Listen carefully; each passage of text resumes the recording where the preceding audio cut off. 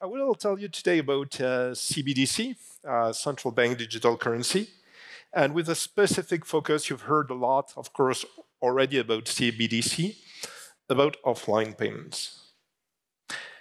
And the question I want to ask, uh, I, I, want to try to answer today, the question I want to us to think about, we will introduce CBDC, which is basically digital cash. Would it be acceptable that digital cash is not as good as current cash? Would it be acceptable that we go backwards instead of going forward? Um, and this is the question, this is what offline is about. So let me let me get started. So I'm uh, Jerome Ajdenbaum. I'm in charge of uh, crypto and digital uh, currencies with IDEMIA. Uh, what is the difference between crypto and digital currency? When I'm talking, please don't listen here to central banks. I don't say that I'm working on cryptocurrencies and vice versa, because there is a little bit of um, antagonism, I would say, between the two. So uh, yeah, crypto and digital currencies. So let's start with um, why do we need offline payments? Offline payments mean you're able to transact even when you don't have a connection. Um, so today, again, my question, the question I want to answer is how do we build a digital cash that is at least as good as cash and maybe, and we'll see later, maybe if we can do better than cash.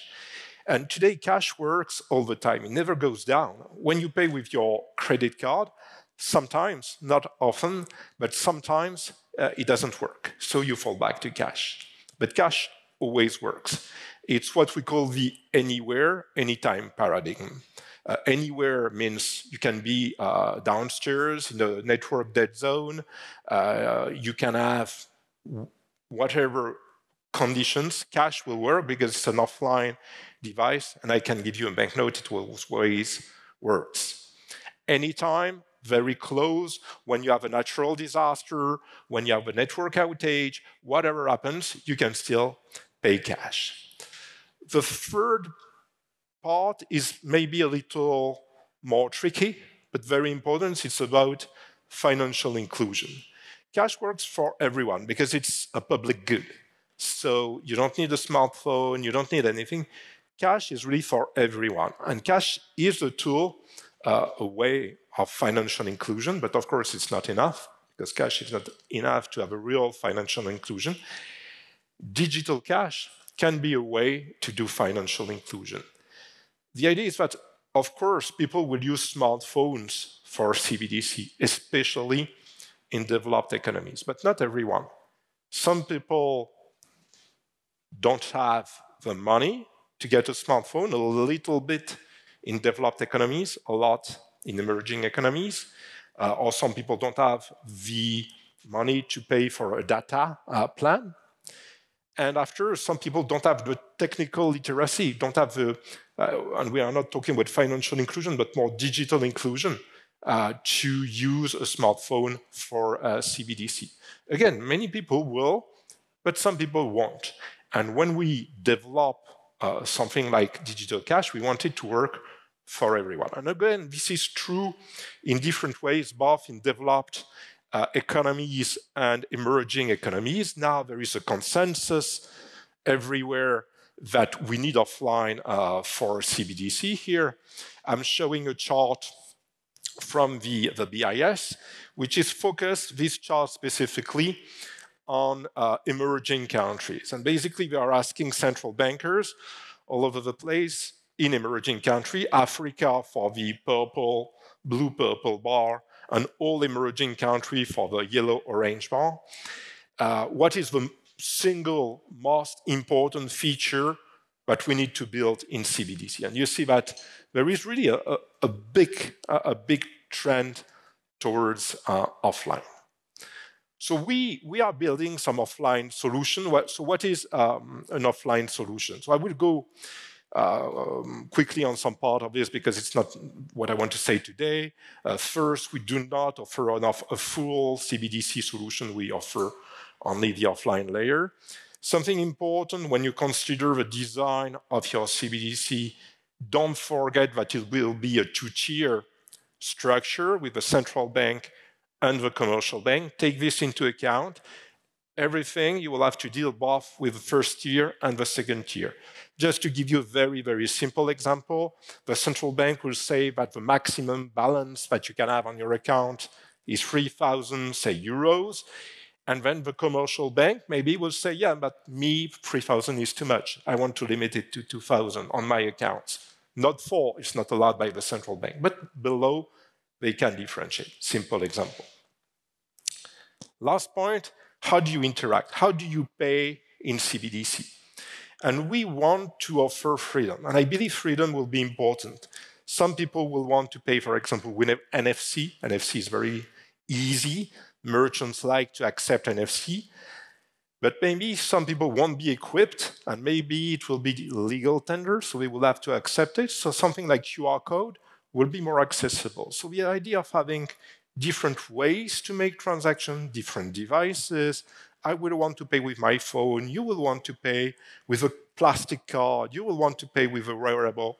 Okay, uh, it needs to support all these different approaches. So what do, what do you need in an offline payment solution? So offline, again, means that you don't have a, a network. You cannot connect, you cannot connect, sorry, to the network. What does it mean? It, it means different things. First, in terms of security, when I talk about security, you need to do things well because you have nobody to back you uh, if it goes wrong. And of course, because it's digital cash, and remember the point where I got started, we want digital cash to be as good as cash at least. So we want real offline. We want instant finality. I pay you, you've got the money instantly. You don't need to go online later at any time to clear, settle. No, no. Instantly, the value is transferred. And the best proof that it is transferred is that you can respend it instantly. A pays B, B pays C, C pays D, etc., etc. There is no limit to the number of free transfers. That's quite important because this, this is what cash does today. No limit to the number of free transfers. Well, no limit to the number of free transfers, except if a central bank wants to add some limits. And this is for the, why would a central bank require uh, something like this? For security reasons, I will talk about security. Everybody trusts the chips, but just in case, let's have a second layer. So from time to time, you want to check what's going on. You may want also to do some AML checks, uh, even if it's a little bit more um, complex, not from a technical perspective, but from a privacy perspective. And I'll talk about that in, one moment. Security, instant finality. So I pay you, instantly you have the money.